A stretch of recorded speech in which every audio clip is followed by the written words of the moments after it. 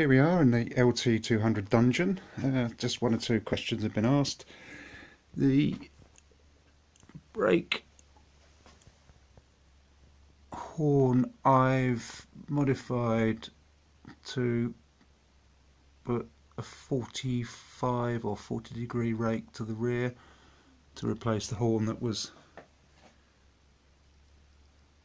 supplied in the kit which is 90 degrees so it sort of it did stick up like that which sort of worked. Um, this works a little bit better. Uh, we go. You can see the push rod's clear of the wing surface. Bit of screaming there from the servo but that's okay. And that's about 90 degrees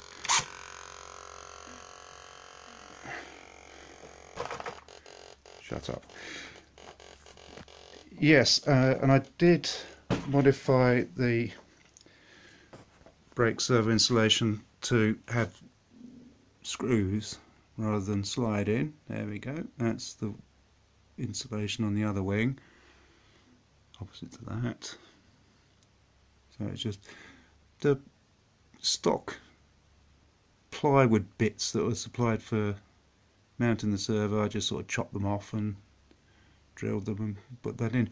Um, ailerons are proper aileron servos now the flat ones. Once again I've rigged them to screw them in. Uh, lots of wires to hide in there but it's it all works. You can all tuck all that wiring away. Um, and the other thing is that the plan doesn't really uh, tell you about is, you know, this is you're stuck with this because that's that's how it's built. But this is the issue. Um, the horn on the aileron. Um, do you do you mount it in line with the servo horn, or do you, as we always used to know, best practice, is put it on the hinge line at an angle like that. That's not really going to work um, because there's such a short moment arm between these two that the twisting will be not not acceptable. So after research I'm intending to do that. If you get my drift and make it in line with the the servo arm. And I think after looking at a bit of stuff, uh, going back over here, the um, looking at the Opterra, which is an E-flite model, um, that's got a swept wing, swept aileron, elevons actually, and their servo and horn is mounted in line. So I'm going to try that. Um, but I'll let you know how we get on. But the the inner wing's essentially finished. Um, that's that's finished with. That just needs to be painted and covered and what have you.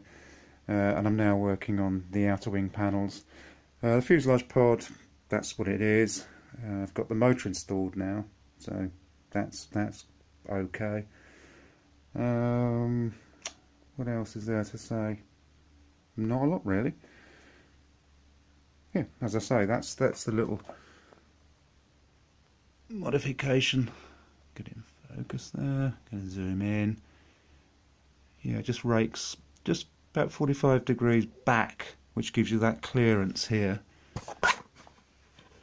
Look, this clearance here between the wing surface and the push rod. Um, yeah. Anything else you want to know, let me know.